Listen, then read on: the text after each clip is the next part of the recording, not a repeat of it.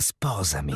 Dal 16 al 24 gennaio alle Ciminiere di Catania, Sposami, il più grande salone nazionale del matrimonio. 200 stand, eventi, premi e spettacolari sfilate per lo sposo e la sposa. Sposami. Dal 16 al 24 gennaio, dal lunedì al venerdì 16-21, sabato e domenica 10-22. Sposami. Alle Ciminiere di Catania. È un'organizzazione Expo. Sposamiexpo.it.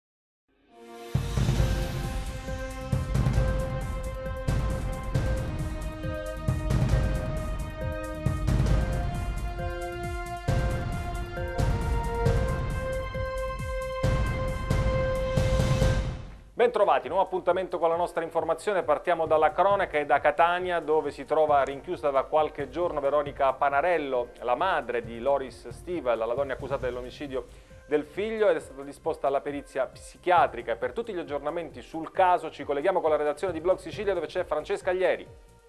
Sì, Francesco, da sabato mattina Veronica Panarello, la madre del piccolo Loris, è rinchiusa nel carcere catanese di Piazza Lanza. Oggi è il giorno della perizia psichiatrica e a riferirci delle condizioni di salute della sua assistita è stato l'avvocato Francesco Villardita. Villardita ci ha detto che Veronica è provata, è sedata, ma che fisicamente sta bene.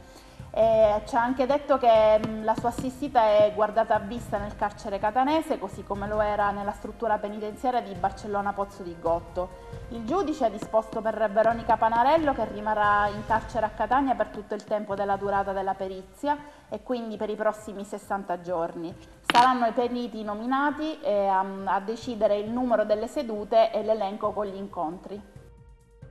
Si sono svolti a Militello in Val di Catania i funerali dell'appuntato Gianluca Sciannaca, il militare morto durante il servizio sabato scorso. Erano presenti i vertici dell'arma. Sentiamo. Presenti i vertici dell'Arma dei Carabinieri nella chiesa di San Benedetto di Militello Val di Catania ai funerali dell'appuntato Gianluca Sciannaca, morto nel tentativo di sventare il furto in un appartamento a Ramacca. Sciannaca, 41 anni, era originario di Militello Val di Catania, è ricordato da colleghi e amici per il particolare attaccamento all'istituzione e per il non comune senso del dovere, per la sua spontaneità, semplicità e solarità.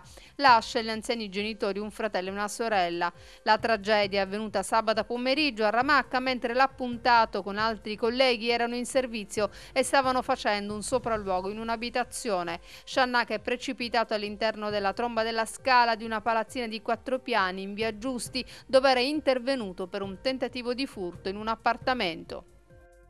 Prima lo hanno investito e poi hanno sparato ad un braccio con un fucile. È successo a Biancavilla ieri sera. Giuseppe Amoroso, pregiudicato di 44 anni, è riuscito a salvarsi e adesso è ricoverato in ospedale. Un avvertimento oppure un assassinio fallito? Sono ancora molto sfumati i contorni della vicenda. I carabinieri della compagnia di Paternò stanno indagando non escludendo alcuna pista e tentando di raccogliere quanti più indizi utili a chiudere il cerchio, ma il ferimento, al momento, rimane un giallo. Centinaia di milioni di euro sono stati bloccati dal TAR, sono i fondi per il biologico. Eh, tantissimi imprenditori rischiano di perdere questi fondi, di restituire questi fondi e altrettanti erano stati esclusi da questo tipo di finanziamento. Ci dice tutto Antonio Spitaleri. 320 milioni di euro buttati al vento per colpa di un bando poco trasparente e fondi distribuiti a pioggia, un bando europeo sulle coltivazioni biologiche annullato dal TAR a seguito del ricorso di 50 delle 1700 aziende escluse dai finanziamenti dopo aver investito cifre considerevoli, come spiega Massimo Cavaleri che con Salvatore Cittadino difende l'Unione Allevatori Sicilia. Di fatto il ricorso è stato proposto allo scopo di far recuperare le perdite che gli agricoltori hanno subito per il semplice eh, fatto della partecipazione al bando e che a causa di criteri poco eh, diciamo, trasparenti ed irrazionali eh, ha comportato la perdita di questi contributi comunitari. E se da un lato il neoassessore all'agricoltura Antonello Cracolici garantisce che è ancora possibile appellarsi al Consiglio di giustizia amministrativa e salvare i fondi, l'avvocato cittadino frena. Io credo che il ricorso al Consiglio di giustizia amministrativa non possa essere fatto perché la sentenza per noi è passata in giudicato. È passata in giudicato nella parte in cui ha annullato tutto il bando, tutta la graduatoria e tutta la procedura concorsuale.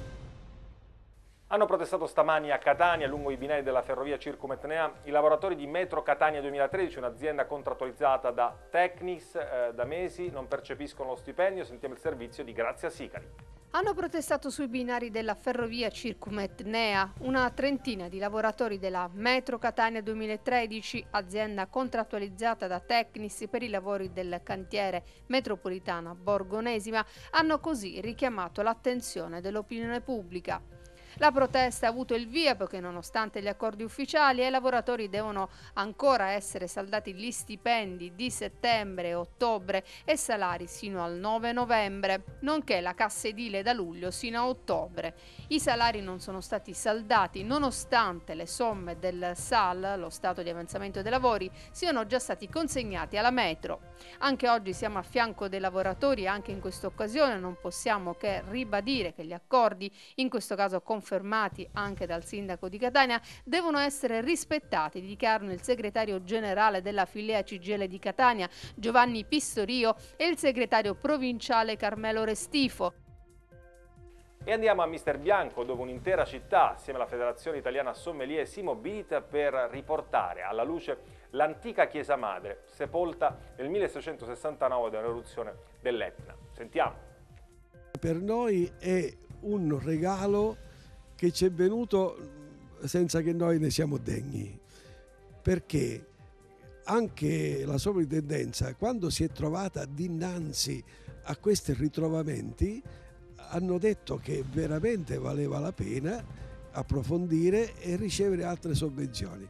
Praticamente noi siamo arrivati qui con la terza sovvenzione per questi lavori. Noi dedicheremo un anno intero, quindi 365 giorni, a, ad una causa che riteniamo particolarmente importante, quella di far conoscere questo luogo e questi scavi archeologici e quella di contribuire anche al loro completamento e alla possibilità di renderli fruibili al grande pubblico.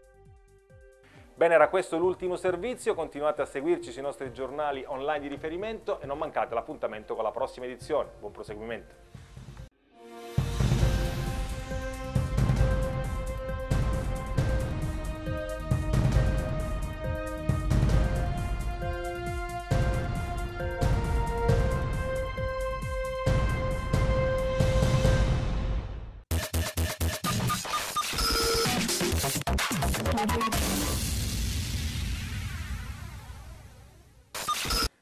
Maurizio Gasparri smentisce categoricamente di aver scambiato Jim Morrison per un ladro slavo, almeno così ha dichiarato ad un semaforo, scambiandolo per una telecamera.